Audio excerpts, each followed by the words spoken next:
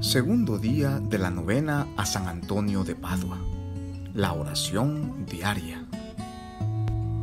Glorioso San Antonio de Padua, que ofreciste tu especial protección a todos los que te honran, reconociéndolos enriquecidos por Dios con las cualidades de los santos y ángeles, ven en nuestro auxilio y ruega por nosotros.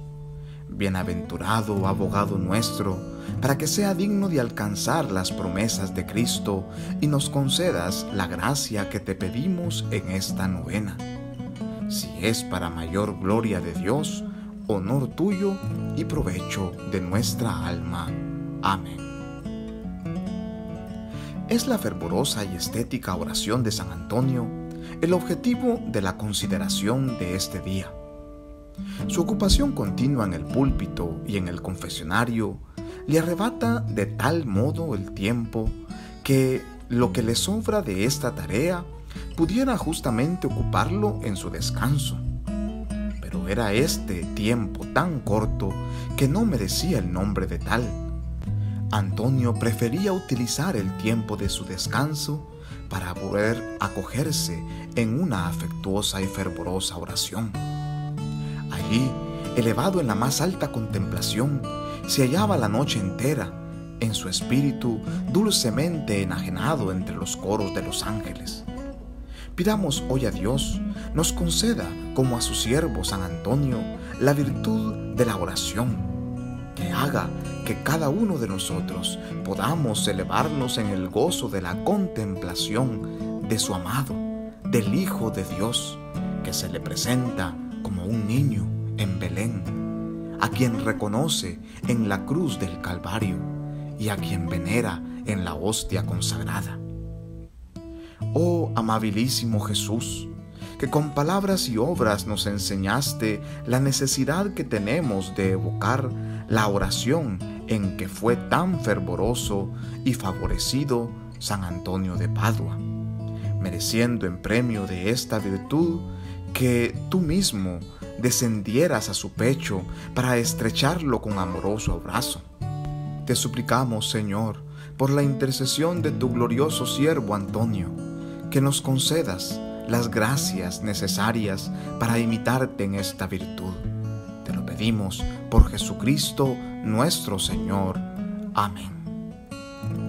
De los milagros de San Antonio de Padua, el recién nacido que habla. En Ferrara, una familia estaba amenazada por una sospecha nacida de los celos. Un padre no quiere ni tan siquiera tocar a su hijo recién nacido porque cree que es fruto de la traición de su mujer.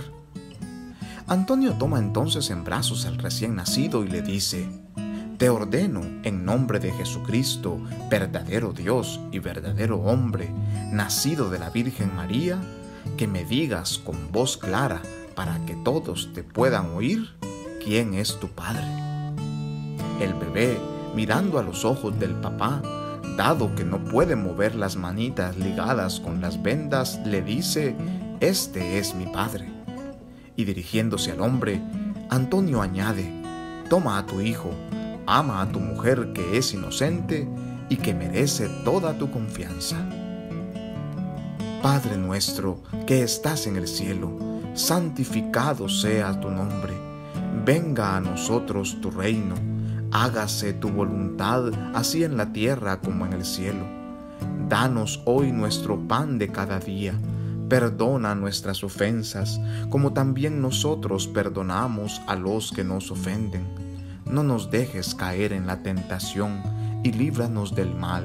Amén.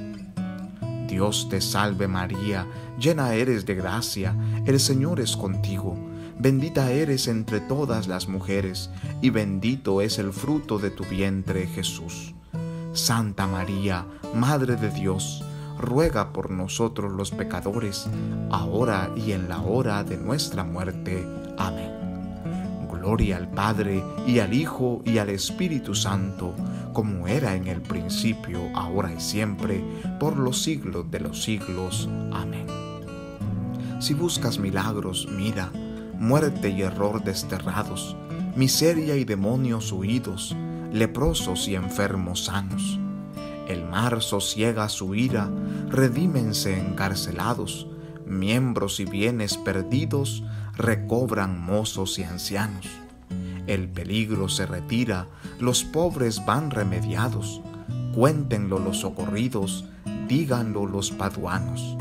El mar sosiega su ira, redímense encarcelados, miembros y bienes perdidos recobran mozos y ancianos. Gloria al Padre, gloria al Hijo, gloria al Espíritu Santo. El mar sosiega su ira, redímense encarcelados, miembros y bienes perdidos recobran mozos y ancianos ruega a Cristo por nosotros, San Antonio Divino y Santo, para que dignos de sus promesas seamos. Amén. Oremos. Oh glorioso Antonio, bendigo al Señor que te hizo aparecer en el mundo para bien de la humanidad.